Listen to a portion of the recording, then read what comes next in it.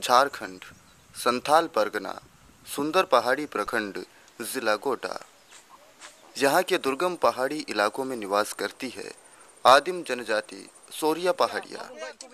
इसे क्षेत्र की सबसे पुरानी जनजाति माना जाता है।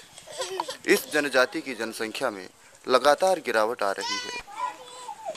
वर्ष 2001 की जनगणना के अनुसार इनकी जनसंख्या इकसठ हज़ार एक सौ इक्कीस थी, जो वर्ष 2011 में घटकर छियालीस हज़ार दो सौ बाईस रह गई।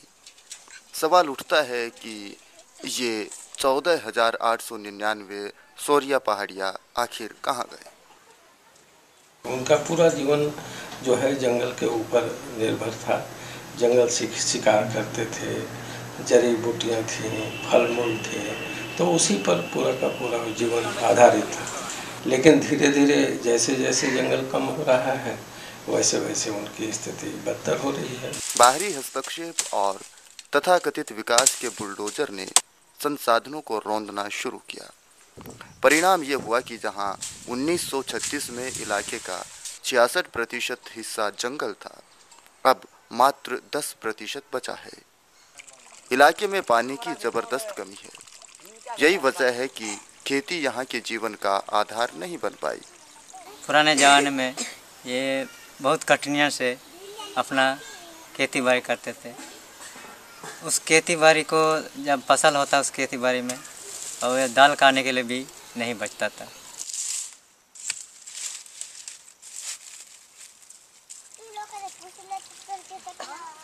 जनजाति की घटती आबादी का एक प्रमुख कारण पानी की समस्या है। पीने के पानी और दैनिक ज़रूरतों के लिए समुदाय मौसमी झरनों पर निर्भर है। पीने का पानी चार पाँच किलोमीटर दूर से लाना पड़ता है।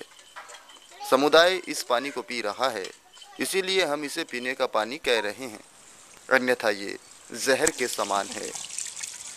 भारत में डायरिया और जल जनित रोगों से प्रतिवर्ष एक लाख चौंतीस हज़ार बच्चों की मौत होती है।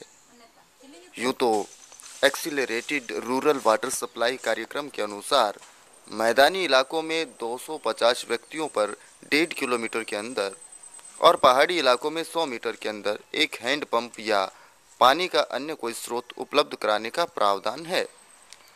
लेकिन शायद इस इलाके में प्रावधान पहुँचना भूल जाते हैं। इस इलाके में बदलाव फाउंडेशन 1990 से काम कर रहा है। फाउंडेशन ने समुदाय के साथ मिलकर पानी की समस्या के निदान पर चर्चाएँ की और उपलब्ध संसाधनों के संयोजन और प्रबंधन की रूपरेखा तैयार की गई। ढलान की वजह से पानी ऊपर नहीं ठहरता था, बल्कि सर्र से चट्टानों से फिसलकर नीचे चला जाता। इस समस्या को दुरुस्त करने के लिए चेक डैम बनाए गए। ये डैम बदलाव फाउंडेशन के द्वारा, ये के प्रोजेक्ट हम लोगों का है, जर्मन के सहयोग से बी के सहयोग से ये काम चलाया जा रहा है। और मेन पहाड़िया का यहाँ पे ज़मीन जो है ग्यारह एकड़ का ज़मीन यूँ ही पड़ती रहता था, जिसमें ये मेड़बंदी का काम कराया गया है। और मेड़बंदी करा के ये जो चेक डैम बनाया गया, इसका पानी का उपयोग करके इसमें डबल क्रॉप लिया जाएगा, यानी कि हम सब्ज़ी उत्पादन भी कराएँगे और जो अस्थायी खेती के लिए इसमें काम, दोनों काम किया जाएगा। बरसात के पानी के प्रबंधन पर मंथन शुरू हुआ। योजना को अमली जामा पहनाया गया। आज समुदाय किसी विशेषज्ञ की तरह बरसाती पानी के प्रबंधन की व्याख्या करता है। बारिश आता है ये चात से चादरा में आता है। चादरा से जाकर वो पोंगी में पोंगी से वो जाता है गड्ढा में।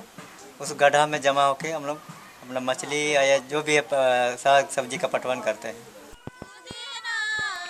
नतीजे कई बार पहलकदमियों का इंतज़ार करते हैं। बदलाव और समुदाय की संगत ने गजब के नतीजे पेश किए। जहाँ लोगों के पास पीने का पानी नहीं था, वहाँ मछली पालन शुरू हो गया। जहाँ खेती के नाम पर बरबट्टी उगती थी, वहाँ अब सब्ज़ियाँ पैदा होने लगी। आज इलाके के आठ गाँव के सौ से ज़्यादा किसान बरसाती पानी का प्रबंधन कर रहे हैं। लेकिन राहत एक है तो आफत हज़ार। विकास का बुलडोजर फिर इनके दरवाजे पर है। अडानी समूह का 1600 मेगावाट का थर्मल पावर प्लांट प्रोजेक्ट पहाड़ की छाती पर होगा। किसानों की जमीनों का अधिग्रहण शुरू हो चुका है। विकास इन्हें उखाड़ कर पता नहीं कहाँ फेंकेगा, लेकिन निश्चिंत रहें। आदिवासी कार्निवल के लिए इन्हें खोज ही लिया जाएगा, ताकि महामहिम भाषण दे सकें।